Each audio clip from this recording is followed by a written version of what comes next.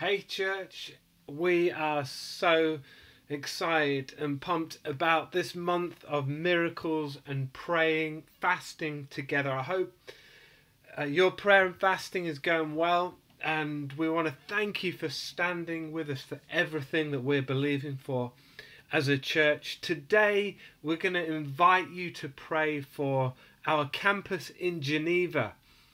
The Bible says this in Colossians chapter 4, verse 3 Pray for us too, that God may open the door for our message so that we may proclaim the mystery of Christ. Let's pray for God to open the door for our message. We, we really believe as a church that God is the God who opens doors. And we want to invite you today. Can you pray, stand with us? Let's petition God for Him to open the way for us. Geneva is an incredible international city. It's a vibrant European hub. It's a place of incredible craftsmanship and eh, so much heritage and Christian heritage through what happened in, in the Protestant Reformation. It, it's a vibrant hub of Europe, and Geneva is a strategic and incredibly influential city. And we're believing for Audacious Church in Geneva to reflect all of those things. That Audacious Geneva will be an important European hub, it'll be a place of spiritual transformation in the lives of many people in Geneva in all of Switzerland and right across mainland Europe. It's exciting that we, as Audacious Church, are taking our first steps into mainland Europe. We would massively appreciate your prayers, prayers of faith today for God to make a way, to open the door so that we can easily and fruitfully communicate the gospel into mainland Europe.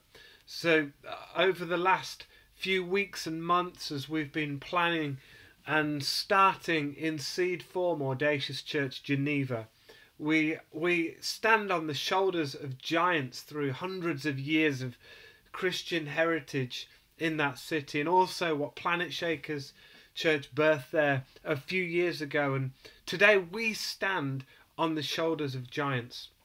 And we're believing that Audacious Church will go to the next level, that it will make a huge impact. It's been a little bit slower than we may have hoped and believed and thought in our mind, just with many of the COVID restrictions in mainland Europe being a lot slower, further behind where we've been in the UK. But also some challenges logistically have just meant that where we're up to now we see so much more. And we are asking, church, will you pray today with us and stand with us that God will open up the doors of our message so that we can proclaim the mystery of Christ. There are people in Geneva waiting with eternity written on their hearts, and yet because we're not able to do as much as we would like, they're on the edge waiting for someone to proclaim the news. And we want to be those people that go, that make a difference. So let's pray today. Let's believe for open doors. Let's believe for God to make a way. Even in areas that seem there is no way, God is going to open up the doors to audacious Geneva to become everything that we see, everything that we're planning for, and everything that God has ordained it to be. Here's a few prayer pointers today. Number one, visas for Tim and Frankie Atkins, who are going to be our campus connect pastors. For them to be able to live and work in Geneva would be amazing. Number two, a suitable venue for our church to call home. Number three, existing church family to grow and strengthen in their relationships with each other. Let's pray that the church comes together and strong as one body.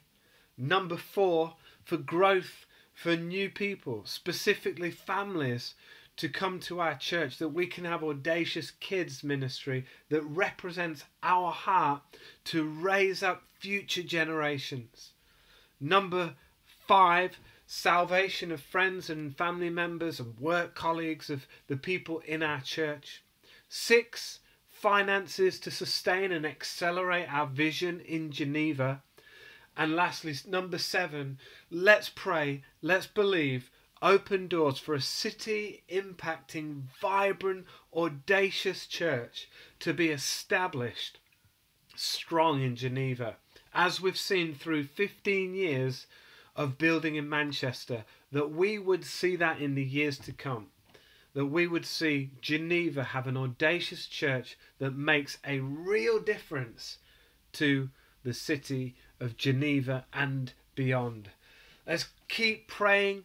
Let's keep believing. Stand with us, church, through these seven points today as we focus on praying for Audacious Church Geneva. Let's just pray quickly together right now. God, we just make these requests known to you. We pray, God, that you would hear our prayers today, that you would uh, sense a church in Geneva that is on their knees, that we're believing, God, that we are believing and standing on your word, that you will make a way for the gospel to be shared. Open up doors. Open up new opportunities. Open up things that we are beyond all that we could think, ask, or imagine. We believe, God, in years to come, we will see Audacious Church Geneva being a place of strength and resource, not just for Geneva, but for the whole of Europe. And we believe that we're going to look back on days like this and be part of an incredible testimony of what God did in Europe through Audacious Church. Thank you for your uh, the house of God. Thank you for your people as we pray together. Hear our prayers in Jesus' name. And everybody said, Amen. Amen. Let's pray today. Let's believe. Open doors.